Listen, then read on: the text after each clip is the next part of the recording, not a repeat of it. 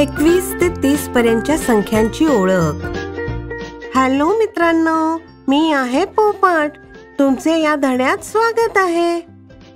चला पाहूया की तुम्ही या धड्यात काय शिकणार आहात. एकवीस ते तीस पर्यंतच्या संख्या.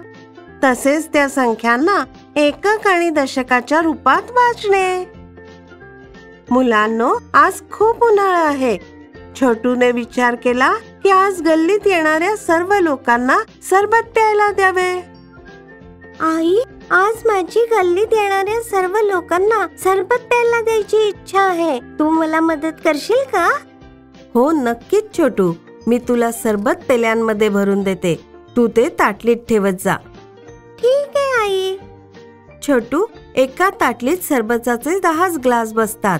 तू मला मोजून सांगू शकतोस का की ताटलीत किती ग्लास सरबत आहे? मुलांनो तुम्ही सांगू शकता का की ताटलीत आता किती ग्लास सरबत आहे? चला पाहूया. आई आता ताटलीत सरबताचे नऊ ग्लास आहेत हो ना? हो छोटू तू अगदी बरोबर सांगितलंस.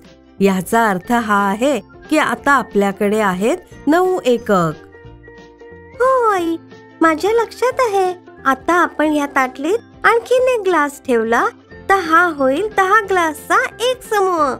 आणि आपण त्याला म्हणतो एक दशक अगदी बरोबर सांगितलंस तू छोटू. हे घे छोटू. झालं तयार तुझं सरबत. मुलांनो तुम्ही सांगू शकता का की छोटूच्या आईने किती ग्लास सरबत तयार करून दिलं आहे? होय तुम्ही बरोबर विचार केलाय मुलांनो.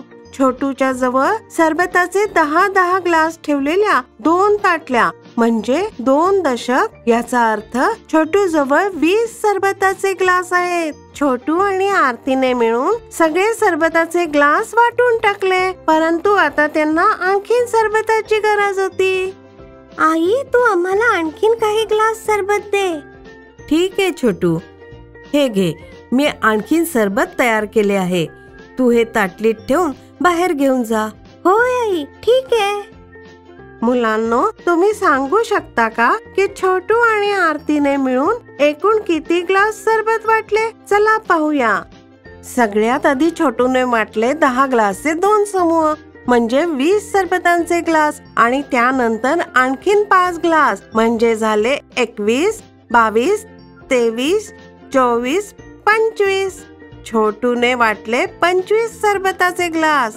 मुलांनो या पंचवीस क्लासमध्ये दोनचा अर्थ आहे दोन दशक आणि पाचचा अर्थ आहे पाच एकक.